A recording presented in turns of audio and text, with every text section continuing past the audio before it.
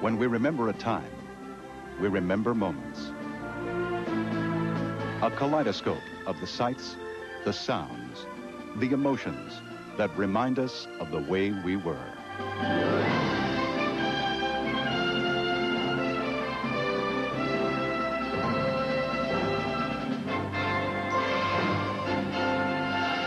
Our world. It's about time. Tonight, Liberation Summer, 1944. Here are Linda Ellerbee and Ray Gandolf. For the next hour, think of your television set as a time machine. Destination, occupied Paris. Obstacle, the Germans. Welcome to the summer of 1944. It's an exciting time. At the front and on the home front, there's a feeling that this summer will be the last summer of war. And soon the phrase, an American in Paris, will be more than a Gershwin title. Sure, Paris is a long, dangerous way from Normandy Beach. But when we say we're all in this together, we don't mean in spirit only. So let the journey begin. 80 days elapsed from D-Day to the day Charles de Gaulle marched down the Champs-Élysées in a free Paris. 80 days in which the course of the war in Europe changed when the Allies tore away pieces of the French countryside from the Nazi claw and returned them to their rightful owner.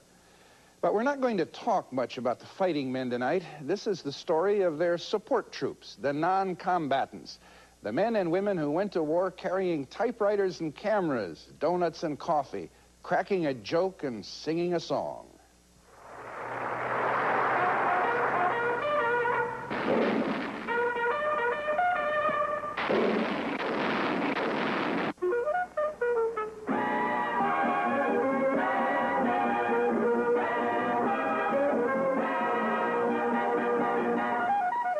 It was slow going that summer on all fronts, mile by bloody mile.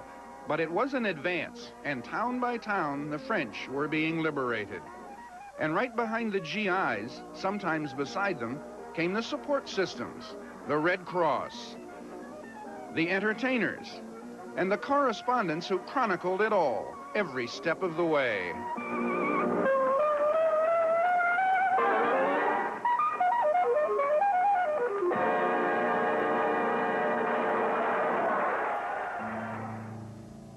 They started on D-Day, the 6th of June. OWI-2, Flash. Supreme Headquarters announces Allies begin operations on northern coast of France.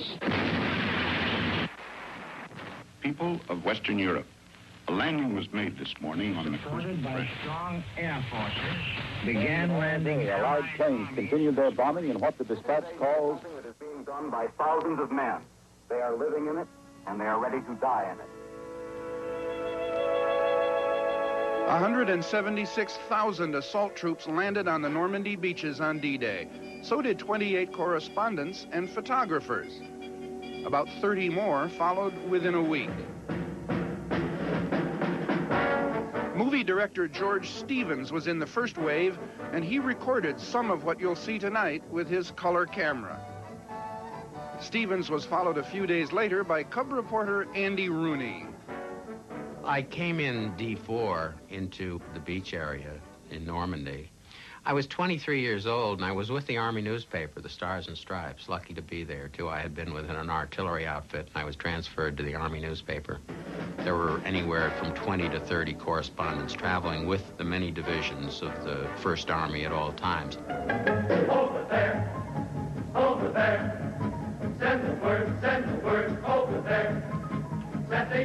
And they had facilities for us. We would take over a chateau, and three or four enlisted men would fix it up, and we would use the dining room and uh, other rooms for as a press room. And uh, we, as correspondents, lived in the tents on the way to Paris. And we won't come back till it's over, over there. The good ones told us what happened and how and why. Columnist Ernie Pyle, Charles Collingwood of CBS, A.J. Liebling of The New Yorker. Jack Lieb, a cameraman for News of the Day, took home movies of the press entourage. They have never been shown on television before. Lieb and his fellow newsreel cameramen shot the war the way it was. By the time their footage got to your local movie house, it was heavily edited and dressed with celestial narration. At exactly noon, in observance of July 4th, America's Independence Day, every United States gun in Normandy will send a shell crashing into the enemy.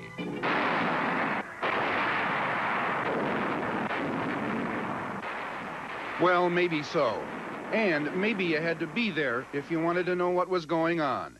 John Wilhelm covered the American advance for Reuters. The Army would come in and set up a regular mess and a motor pool.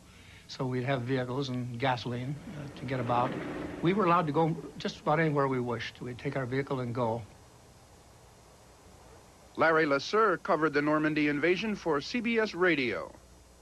You would go out from the press camp in the morning to any place where you thought there might be something worth seeing and worth reporting. First checking with the intelligence to see where the actions were, and then coming back that evening to write your story and for me to make my broadcasts.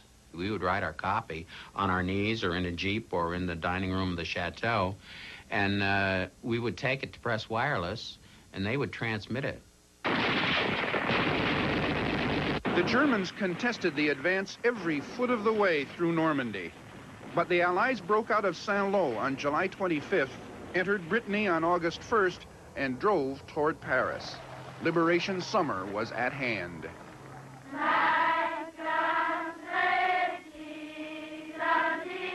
There was no shortage of stories along the way. German soldiers who were now German prisoners of war. A good story. French people who were now free French people. A better story.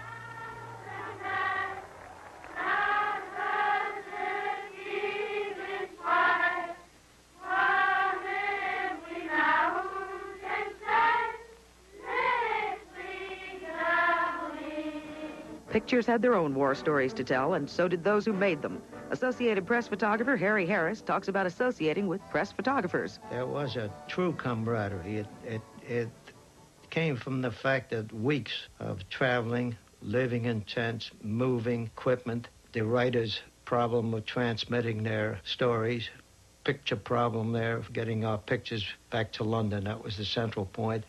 We helped each other.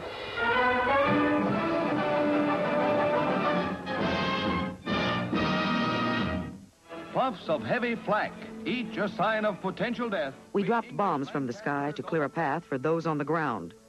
Reporters watched the bombs fall from front row seats, and what they saw, they wrote, and what they wrote, we read. In midsummer, more bombs were dropped. A wider path was cleared, even if it meant destroying what we'd come to save. It prompted one GI to remark, We sure liberated the hell out of that place. The fight for France had become a desperate, deadly match. No one was safe. Being a civilian wouldn't help. Neither would being a reporter. We had the horror there of having one of ours killed there just trying to photograph the bombing just before Paris. It's just that they stuck their necks out to get a story and to get a picture. We had about 18 casualties among the correspondents until we got to the outskirts of Paris. And then we were sobered up particularly by the fact that one of the men we were very fond of was named Bill Stringer. Uh, he was an American who worked for Reuters. And he had just simply gone out on one of these Jeep trips I'm telling about, and uh, he ran into a German ambush, and uh, uh, a, a, a shell, a cannon shell, went through their windshield and right through Bill's chest.